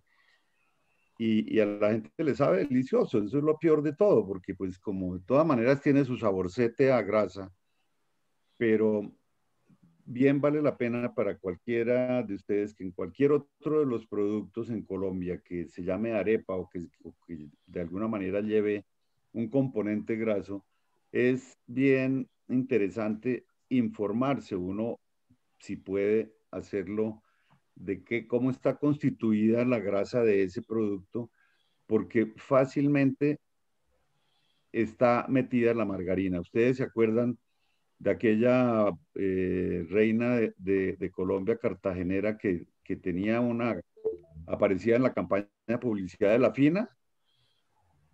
La fina, la margarina, la preferida en la mesa y cocina, la fina, a todos nos gusta más. Y lo cantaba ella, ¿no? Entonces la reina, la reina de la cocina, la reina de Colombia, la reina... Y así, así fue que hace como unos 30 años o quién sabe, o más quizá, nos embutieron la margarina como la mejor mantequilla. Siendo que no es una mantequilla. Es Mire, yo, yo, yo lo que creo es esto. Yo creo que si ustedes observan, gran parte de lo que fue muchos avances técnicos y científicos relacionados con el sector de alimentos durante muchos años, en este momento se está regresando absolutamente casi todo. Todo está regresando a, a, lo, a, los, a lo que era artesanal, lo que, lo, que era de la naturaleza, lo que menos tratamiento tenía, hacia allá está regresando y, y, estamos cayendo. Lo mismo que salió con la parte de la industrialización en general, cuando nos dimos cuenta que el nivel de contaminación ambiental que producía una vaina, yo estoy seguro que, que, que, ni Alejandro ni a, ni a mí en la, en la, universidad nos dijeron que pilas con la contaminación ambiental, que, que saben, eso ni se hablaba en esa época. Sí, haga, mejor ni haga fábricas y eche todo el mismo que quiera. Eso no, eso no era ni, ni cerquita el tema. Y resulta que, que, que, que, en este momento el ser humano se da cuenta que, que fue un error absoluto eso, lo mismo que muchos de los plásticos que muchos de los productos alimenticios procesados, sabemos todo, o sea, y todo eso está regresando, regresando, vamos a regresar a la bolsita de papel o al canasto con el que hacía mercado antes, ¿sí? mercado reciclado en vez de la bolsa de, de plástico que se botaba permanentemente y contaminada porque no había conciencia, no había conciencia de, de, de, ese, de ese tema. Y muchos de los problemas que ustedes conocen, pero los estudios que hay en el caso del, del sector floricultor, de los insecticidas que ya no están utilizando casi ninguno, los problemas tan serios a nivel, a nivel, a nivel genético, a nivel de, la, de, los, de los hijos de las señoras que trabajaban en esos invernaderos, chupándose al, rayo del sol toda esa cantidad de, de insecticidas y todas las que quedan para las flores, una cosa gravísima, que está afectando a una, dos o tres generaciones más, quién sabe hasta dónde. Y entonces se dieron cuenta que, ah, oiga, no, nos equivocamos, la cosa no era por ahí. Entonces yo creo que está sucediendo, está sucediendo eso. Creo que vamos todavía a un paso muy lento, pero que pero que a medida que se van sumando más, más personas al tema, pues se vuelve cada vez más, más importante. Aquí, en esta, aquí está más, estoy mostrando algo que en, las adicciones, en todos los estudios de adicciones que usted encuentra, ningún estudio menciona la adicción a la comida, ni la adicción al azúcar. Hablamos de la adicción a la heroína en una escala de 1 a 3, la heroína es lo más, la, la, la, la, más peligrosa de todas, la que genera una adicción de 3 sobre 3. Cocaína 2.4, los barbitúricos todos, el alcohol 0.9, y la comida y, sobre todo el, dulce y el azúcar, que es uno de los problemas causantes de muchísimas de las enfermedades, no se habla, ni siquiera se menciona como un tema de, adicción. Listo. Sí, por eso vemos que la, comida y la ansiedad, eso es bien interesante. Sí, los, eh, los psiquiatras dicen que, que, la gente come mucho porque tiene ansiedad. Los médicos funcionales dicen no. También, sí, eso puede ser cierto, pero no. La mayoría de los casos la gente se vuelve ansiosa porque come mal y come mucho. ¿Sí me entiende? O sea, la relación de doble vía. La, la, ansiedad genera algo de que la gente, no es que estoy ansioso, entonces como y como, como. Resulta que no, usted también, usted también se vuelve ansioso porque come mal. Entonces hay que mirar dónde están las verdaderas causas. Alrededor del 80% de los productos en los supermercados contienen azúcar o cualquier tipo, otro tipo de endulzante. Y ponen un letrero grandísimo que dice libre de azúcar. Y, y, y, y cuando lee uno ahí dice, tienen Dexitrol, tienen no sé qué, tienen aspartame, no sé qué, ta, ta, ta, ta, y muchos de ellos son, como les digo, más serios más peligrosos que la misma, que la, que la, que la misma, que la misma azúcar. Listo. Bueno, este es, este es un tema fundamental, unas conclusiones que llega uno al mirar los temas de salud, vemos que la mayoría de los casos, siempre detrás de una enfermedad hay una inflamación. O sea que el, el, el, trato de tratar de, la enfermedad, pues debe ser tratar de mirar a ver dónde podemos volver a, dónde están las inflamaciones. Ahí hay un tema, pues, que es el, tema de los radicales libres. Sí, se ha escuchado que los radicales libres son, son malos. Y resulta que los radicales, pues depende. Los, los, los radicales libres pues, van viajando, van viajando dentro de los glóbulos blancos, que son los que trabajan todos los sistemas de defensa en el cuerpo. O sea, cuando hay una, una, infección, comienza a una infección, el glóbulo blanco es el que se vaya a atacar la infección. Pero si el, glóbulo blanco y que tiene radicales libres. Ahora bien, si, el, si, no existe ese, ese equilibrio y existe un estrés oxidativo, o sea que existe exceso de radicales libres, pues el radical libre no solamente acaba con, la, con, lo que sea, sino comienza a, acabar con los, sus amigos mismos. Es como si metiéramos en un grupo, yo diría como, como si hubiera una casa donde vive una persona, está tranquila, ¿no? Viven dos, ahí se la puede llevar bien, en, en un mismo cuarto, perdón. Comienza usted a meter y llega usted en un cuarto de esos donde viven ocho personas, viven en el mismo cuarto están los abuelos, papás, la hija, el, el novio o el esposo de la hija, pues lo más probable es que ahí por la noche eso pueda, pueda pasar más de una cosa. Eso sucede cuando de tener exceso dentro de un dentro, dentro del caso de, estos radicales. Por lo tanto, el, exceso de, omega 6 que hablaba anteriormente puede producir el, el, estrés oxidativo. Entonces, por lo tanto, debe tener cuidado de no sobre, es como el, como el que, el, sobrealimentarse, el sobreentrenar físicamente, es lo mismo, es cuando se pasa algo del límite, inmediatamente se, algo que fue muy positivo hasta acá, se vuelve muy negativo hasta allá. Yo tengo un cuento, haciendo paréntesis, un cuento con, digo, con la primera esposa, que algo que me encantó es que era de una firmeza y para ella era blanco o negro. Y eso me parecía del carajo, porque yo a veces me dudaba, dudaba analizando algo y para ella sí es rapidísimo, decía, esto es blanco, esto es negro, esto es blanco, esto es negro. El día que yo comencé a escribir que podía haber negro oscuro, negro humo, eh, blanco hueso, blanco. dije, no, no es blanco y negro, existen muchas posibilidades de colores y eso que inicialmente era tan bueno se volvió malo. Porque ya no, señora, existe, existe el gris oscuro, el, gris medio más, más, más clarito, ¿no? no existe blanco y negro, eso no, eso no, existe. Entonces descubrí algo de eso, que algo bueno se vuelve malo. Cuando yo tengo algo, algo que me gusta mucho y comienzo a comer y a enviciarme con eso, llega un momento en que se genera la ley de la saturación.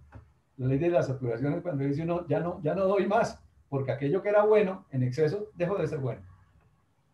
¿Listo? Darío, entonces como conclusión podrías seguir comiendo a lo loco eh, crispeticas.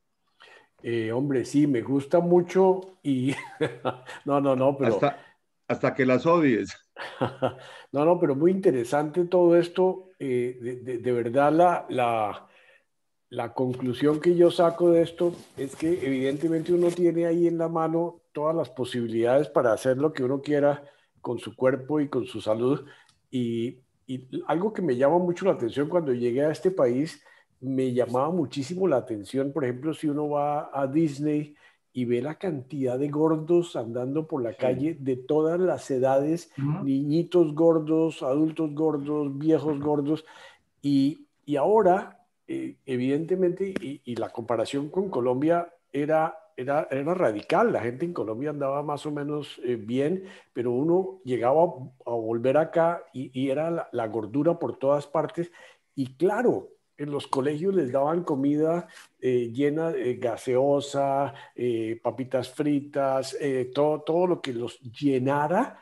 Y, y ahora he, he, venido descubriendo pues, que todo eso no solamente llenaba, sino que creaba azúcar, todo lo que eran los, los tales donuts, ¿no es cierto?, llenos de, de, de, dulce y de vaina. Eso era lo, lo tradicional de la familia americana y ha sido durante mucho tiempo eh, tú vas a un McDonald's y te llenas de, de, de, pura grasa y de pura harina. Y lo que yo no sabía era que la harina se convertía en azúcar. era algo que no estaba en mi cabeza. Y, y, evidentemente, cuando empieza uno a ser consciente de eso, las cosas pueden cambiar, pero estamos lejísimos de, de ese cambio. Pienso que con esta pandemia, mucha gente dejó de comprar afuera y, y, y, al comprar en un restaurante o en un McDonald's o en una vaina, tuvieron que volver a cocinar en la casa. Y ahí la cosa puede tener eh, mucho, muchos beneficios. esta es como mi conclusión de todo esto que, que, he estado oyendo. No sé ustedes qué piensan. Claro. Sí, mire, Darío. Sí. sí, Juan Pablo. Mira, Darío, eh, tienes toda la razón. Yo creo que difundir lo importante de, lo que estamos hoy aprendiendo, repasando, oyendo, es poderlo difundir dentro del núcleo familiar más cercano, porque efectivamente, pues en estos momentos de pandemia es con quienes se tiene como más vínculo, de, sobre todo para que los papás de, de los niños tengan también esa idea de cambio porque los niños pues no van a tener, tienen todavía la inocencia pues de, la, de las comidas y siempre van a estar molestando y jodiendo porque quieren precisamente comer lo que no deberían comer. Y como la televisión también es tan agresiva pues en el campo mental de los niños y de los adolescentes, digamos, pues ahí hay una, una guerra bastante compleja contra los más adultos porque ya creen que es que los quieren maltratar, no dándoles lo que ellos quieren. Es verdad que no es fácil ese caso. Pero para traer un poquito el, el caso de la leche dorada y terminar eh, mis palabras, la leche es otro producto que, que tenemos que eh, saberlo manejar muy bien.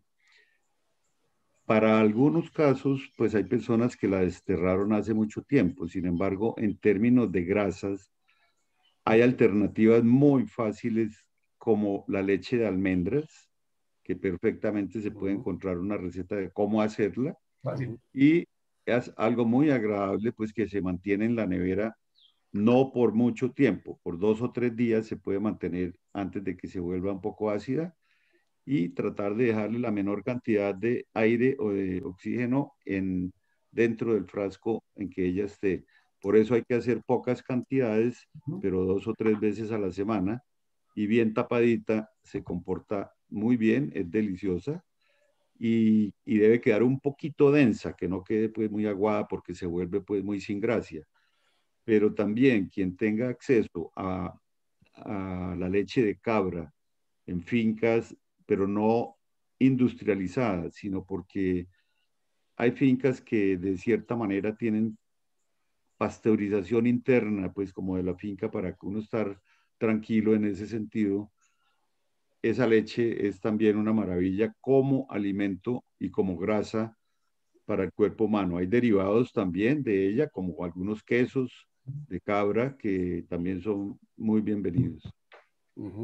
Mire, con, sí, muy bien. Con respecto a la, afirmación que hacía Darío, yo creo que, que sí, eh, esto ha sido una oportunidad y un momento muy coyuntural para comenzar, a, por lo menos en muchos casos, comenzar a tomar conciencia de, de, de, la alimentación.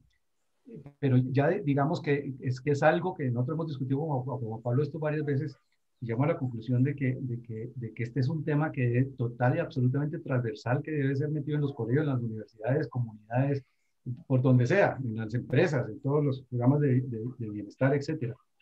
Eh, por ejemplo, hay dos países que yo sepa, en, en, Finlandia y en Japón, los niños tienen desde ya pequeños clases de nutrición. ¿sí? Ellos tienen sus cocinas y, y preparan ellos mismos el alimento y le explican qué alimento es bueno y para sirve. En Japón, por ejemplo, ya dieron un paso más. Ya, ya los niños en el colegio son los que manejan la cafetería del colegio y ellos mismos se preparan los alimentos para todo el colegio. O sea, no tienen una empresa de afuera como tienen la mayoría que contratan para hacer, sino que ellos mismos lo están haciendo. Entonces, la vivencia y la comprensión desde la temprana edad y lo que se puede hacer con la educación de, de, adultos, pues es fundamental. El adulto es mucho más, mucho más complicado. Yo les comentaba la, la vez pasada que estuve asesorando una, una alianza que se generó de, de, de cuatro, cuatro, cinco colegios de, de, estrato 1 públicos que se lo entregaron a, una, a un consorcio que se formó de cuatro colegios en la Universidad de los Andes para que administraran y manejaran esos colegios. Y todo funcionó de maravilla y el único problema serio que tuvieron fue con la alimentación, porque llegaron este, este tipo, el, que era el, el rector del consorcio, un tipo muy interesante, el tipo pues decidió, no, vamos a, a, mejorar la alimentación porque está muy mala y muy desbalanceada en el colegio. Y ríase que, que los, los, alumnos y los padres de familia casi hacen huelga, porque el plato no tenía la cantidad de arroz, de papa y eso que tenía que ser, que era la comida que estaban acostumbrados. Entonces romper eso, me, eso fue lo, lo, más difícil de todo lo demás. Mire, todo lo, toda la parte pedagógica, la disciplinaria, todo eso lo pudieron manejar. Pero la parte de alimentación es tanto lo que tenemos grabado en, el ADN de costumbres y cosas de que debe ser eso, que es que siempre hemos comido así, somos así, que es, que es bien difícil. Pero creo que es una labor fundamental y como digo ya hay que, a mí hay un tema que siempre me gusta sobre cualquier cosa que llama la referenciación competitiva. Busquemos quién lo está haciendo bien, en este caso de, los, de los finlandeses en Finlandia y en Japón, porque yo creo que ese es el camino para comenzar a, a que las futuras generaciones no sufran ese súper problema que tiene que tiene, que tiene eh, países como Estados Unidos, que es el otro tema de Japón. Japón tiene el menor, el menor nivel de obesidad en niños, lo tiene Japón. Y Estados Unidos tiene, tiene, tiene uno de los más altos. Claro, las costumbres alimenticias son total y absolutamente distintas y no existe conciencia conciencia sobre, sobre el tema. Los costos de salud en Estados Unidos y en muchos de estos países también, en México, bueno, aquí muchos países occidentales, son exageradamente altos muy, muy costosos, debido especialmente a la mala alimentación y a la cantidad de accidentes pendejos que se podrían haber evitado si la persona tuviera la conciencia de seguridad. O sea, buena alimentación, buenos hábitos alimenticios y buena conciencia sobre, sobre, sobre no accidentarse uno, tener las precauciones, etcétera, etcétera, etcétera. Atacando esos dos puntos vitales, los costos de salud se bajan en menos del 50% de lo que son actualmente hoy. Ricardo. Entonces, ahí es donde tenemos que trabajar las causas de los problemas y no decir, no, es que no, no, ¿qué vamos a hacer si es que la gente bruta y se accidenta? ¿Qué vamos a hacer si es que, si es que todo lo que la gente come? No, hay que, hay que buscarle las soluciones de raíz. Hay una cosa que, que, me llama mucho la atención, Ricardo, y perdona, el, el, el, comentario que quiero hacer es, creo que todo esto es resultado de una cultura, y con todo respeto de nuestros antepasados, machista, eh, que la mamá era la que cocinaba y el hombre no entraba a la cocina porque a mí me decían los hombres en la cocina huelen no sé qué, eh, pero, no, pero no era, no era, no se podía entrar a la cocina. Yo no aprendí a cocinar y lo echo de menos, ahora estoy más o menos entrando en el asunto, pero el tema es que si la mamá lo que quería era ver el niño gordo, el niño flaco era señal de mala salud, el niño gordo era buena salud. Lo que veo ahora en la cultura en general, por lo menos en los nuevos tiempos, es que los jóvenes están muy preocupados por lucir bien, por el fitness, por estar eh, eh, en forma, por tener músculos, hombres y mujeres. ¿ah? Eh, y eso hace que empiecen a investigar cómo hacen para alimentarse bien, no engordarse, fortalecer el músculo, y eso ha traído un interés por la nutrición diferente. Pero esto también es fruto de toda una cuestión cultural. Eh, a nosotros fuimos educados y, yo fui parte de esa educación, ustedes fueron eh, los, alumnos de, de una educación religiosa que insistía que al cuerpo había que controlarlo, y, todas las tendencias del cuerpo eran cosas que eran malas. el espíritu es lo bueno, las cosas del alma. El cuerpo había que mortificarlo. Eh, a mí me acuerdo que, nos decían eso, eh, inclusive eh, en la vida religiosa. ¿Y, por qué? era lo, que yo pienso que, que, que ha pasado es que mucha gente se ha liberado de eso y dice, no, no, no, no, el cuerpo lo tengo que cuidar lo tengo que, lo tengo que eh, acariciar, lo tengo que hacer crecer bien, lo tengo que mantener saludable y la cultura del cuerpo no va contra la religión, no puede ir contra la religión. El, permanecer en la vida y, y, estar en forma y estar saludable es una responsabilidad ética con, con uno mismo y con la familia, ¿no? Es decir, el papá que se engorda y se muere porque le dio un tremendo infarto y no se cuidó, hombre, no está cumpliendo su responsabilidad con, con mantenerse saludable para su familia. Eh, no, sé si me explico, eh, esto es un cambio cultural que pienso que cada vez más se, se, se, se, ve, lo veo mejor, no sé ustedes. Darío, Darío, un comentario con respecto a lo que acabas de decir. Esto es filosofía ingenieril. es, es, la prudencia, la prudencia es saber distinguir entre lo que yo deseo y lo que me conviene. Un poco, un poco esto aplicado a, la alimentación. Eh, una cosa es lo que deseamos, lo que nos sabe sabroso, lo que está dulcecito, la grasita de las arepas, Juan Pablo. Eh, pero, pero sí es necesario y por eso le hallo sentido al título de la conferencia de nutrición consciente.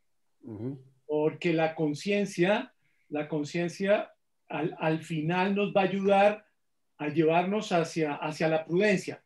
Solamente hasta que nosotros tengamos una información correcta, podremos saber qué es lo que más nos conviene. Claro. No solamente dejarnos llevar por el deseo, pero es, es una cuestión de un, un manejo un manejo de, las cosas que me gustan, pero comenzar a buscar conscientemente e inteligentemente alternativas saludables. Por el bien de uno, por el bien de la familia, por el bien de la misma sociedad. No sé, eso quería compartir un poco. Sí, sí, sí. Sí, sí, Alejandro, eso es, eso, es absolutamente correcto, yo creo. Mire, si tenemos un, un espíritu, una alma eh, está, en esta encarnación está habitando en el cuerpo. Entonces, si seguimos esa lógica, es lógico que debemos cuidar el, el, cuerpo donde habita nuestro espíritu, nuestra alma. Eso me parece que es fundamental. Lo otro que yo creo y que analizo también es la persona que, que, que, no toma conciencia de muchas cosas, hablemos en términos generales, generalmente, generalmente son personas que tienen allá adentro, tienen allá adentro unos vacíos grandes, ¿sí? Hay sufrimientos grandes, hay abandonos, hay digamos, cuando analizan los casos de las personas que, que, se meten con la droga y este tipo de cosas, hay deficiencias de afecto, de cariño, de alimentación. Entonces es una sumatoria de la sumatoria de las sumatorias de causa-efecto que hay que mirarlas integralmente y por eso no se puede juzgar tan a la ligera, porque las causas de esas, inclusive en muchos casos la persona no tiene, para mí no tiene casi ni la más mínima culpa. ¿sí? Le voy a poner un ejemplo, un, ejemplo de un hospital que me tocó eh, en, en, eh, el proceso de acreditación de calidad en hospital en un psiquiátrico. Y en ese psiquiátrico, una de las cosas que hace uno, está ahí, es entrevistar aleatoriamente a un paciente para saber si tanta belleza que le dicen o está en el informe es cierto, cómo, cómo lo tratan, etcétera, etcétera, etcétera. Pues en un psiquiátrico eso no es tan fácil. Entonces yo no sabía quién entrevistar, al final dije, no, deben de los que van a salir, ya casi salir, déjenme entrevisto a uno de ellos. Entonces lo entrevisté, me pareció una persona muy bien, muy alegre, muy contento y, apenas dijo la primera parte y puso una cara de tristeza y le dije, ¿pero qué le pasa? Y me dijo, no, es que no, aquí, aquí me han tratado muy bien, eso no, me han tratado los médicos, las enfermeras, bueno, súper bien todo. Pero usted no se imagina a la ratonera que voy a llegar. Claro. Apenas me dijo eso, dice, todo el trabajito que hicieron allá se va a perder, porque su medio ambiente en, el, que, en el que él vive no es un ambiente que le vaya a ayudar o favorecer su, su mejoría, sino que ese ambiente a su vez ha sido la causa de que él esté allá en, en, ese hospital. Entonces, por eso vuelve lo mismo, es el sistema. integral el que tenemos que analizar totalmente y no se puede resolver un problema aislado cuando se está dentro de, dentro, dentro de todo un mundo de interacciones y ambientes que están afectando muchísimo. Hay un libro que inclusive ahorita lo muestro en la bibliografía que se llama La biología de las creencias. Es un libro para mí espectacular, es escrito por un biólogo y el tipo encontró cómo dialogan las células, cómo se informan las células y cómo el medio ambiente, mucho más que por encima de toda la información genética, que inclusive ya los avances están llegando con la epigenética, que la información genética inclusive también se puede modificar. Pero ese ambiente es el que fija que las células se sientan bien o se sientan mal o estén en unas condiciones. Entonces comienza a hacer investigaciones en el laboratorio. Por ejemplo, una, una, una muy sencilla, hizo varias, pero una de ellas pone, pone uh, unas células en un plato esos de Petri, el laboratorio, le da un alimento bueno, las células comienzan a, a crecer, eh, comen bien, se alimentan bien, y en otro plato de pone unas goticas de un insecticida, ¿sí? Y las células van y se, se, se inclinan, se van al borde del, del plato Petri, ¿sí? Se arrinconan, se juntan unas con otras de manera, y ¡pum! Y unas comienzan a morirse, como si se suicidaran o se mataran en un ambiente que no les favorece. Entonces, si eso es un caso, el ejemplo, y lo mismo con los pensamientos, con los sentimientos, con las emociones, si una persona está en un ambiente de esos, pues es muy difícil exigirlo, pedirse que, que se comporte de una manera X, siendo que no solamente depende de él, sino de ese medio en el cual se desenvuelve.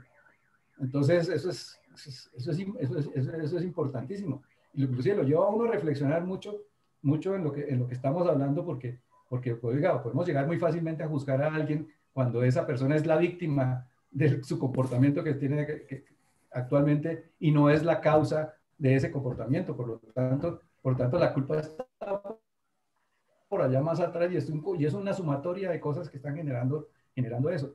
Por eso la parte, la parte integral es, es, es, es, muy, muy, muy, muy importante. Por eso cuando hablamos con Darío la primera vez, ¿te acuerdas cuando charlamos la primera vez que digamos en nutrición consciente, pero digamos nutrición consciente en alimentos, en la mente, en las emociones y en el espíritu? Porque si, si, si, si no, se nutre, entonces no estamos nutriendo físicamente, mentalmente, emocionalmente, nos nutrimos mal y no somos capaces de, de, de, superar muchas cosas, pues ahí, ahí quedamos. Y la causa-efecto es entre esas variables, entre las cuatro variables, física, mental, emocional y espiritual, es impresionante cuando una, una cosa de esas falla, es igual que en el cerebro, le transmite información al resto. se le despertó el perro a, Juan Pablo. y, Juaco, ¿querés decir alguna cosa? Te vimos. Te vimos. Eh, sí, me, ¿Me oyen? Te oímos, sí, te oímos.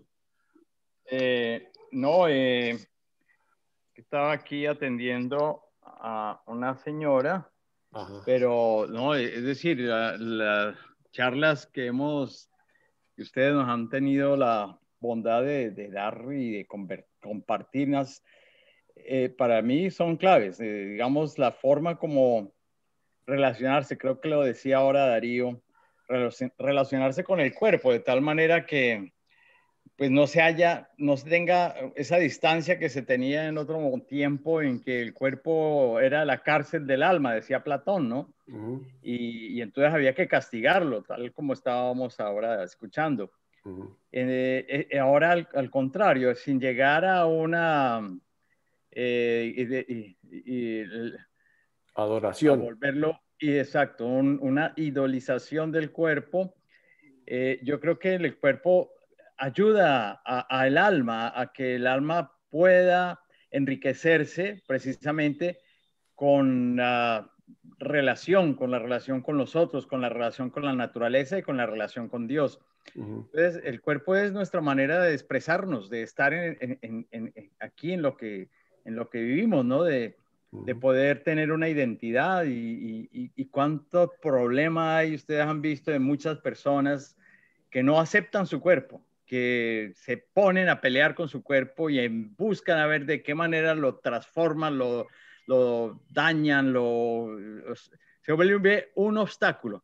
Entonces, en la medida en que uno asuma su cuerpo de una manera sana, tranquila, agradecida, yo creo que en esa misma línea va lo que todos, lo que ustedes han compartido, ¿no? Es decir, si yo estoy bien con mi cuerpo y le doy lo necesario y lo cuido y busco que eh, en todo momento me sienta bien, eh, todo eso es, una visión holística. Yo creo que, eso es interesante, ver cómo, cómo no podemos separar eh, las, por compartimentos aislados lo que vivimos, sino en la medida en que integremos cada vez mejor nuestra presencia en el mundo, vamos a vivir más tranquilos, con más esperanza, con más realismo, con más eh, conciencia.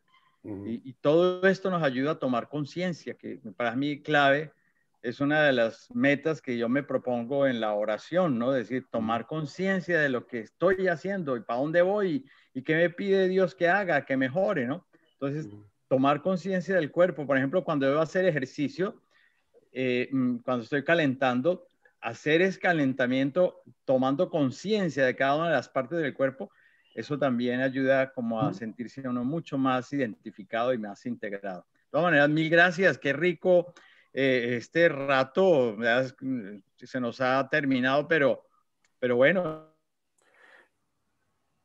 eh, esperemos que sí. más personas a los siguientes temas. Sí, quería preguntarles, aprovechar eso, eh, Joaco, que estás diciendo, quería preguntarles, eh, a, mí personalmente esta reunión así en familia, grupito pequeño, eh, me fascinó porque podemos conversar, podemos aprender mutuamente. El número no es lo importante, sino la calidad de las personas que estamos aquí. Y, se los agradezco mucho, Ricardo, sobre todo, y Juan Pablo, que prepararon esto. Eh, esto es un banquete para mí y pienso que para Alejandro y Juaco la misma cosa. Ahora, eh, probablemente fallamos en el sentido como organizador de que lo hicimos dos semanas después del anterior y, habíamos quedado que era una vez al mes, eh, puede ser, eh, o, repetimos el mismo tema de la vez pasada y la gente dijo, bueno, ya, ya, ya fuera de sermones que yo ya tengo, eh, puede, puede, también haber sido algo de, mala conciencia. Eh, pero mi pregunta a ustedes, que es el grupo que está aquí, es, la próxima sesión debería ser en 15 días para mantener el mes anterior, ¿no es cierto? Porque era el tercer mes de cada, el tercer sábado de cada mes. Sí, absolutamente, para no tener que eh, modificar el plan de reuniones del resto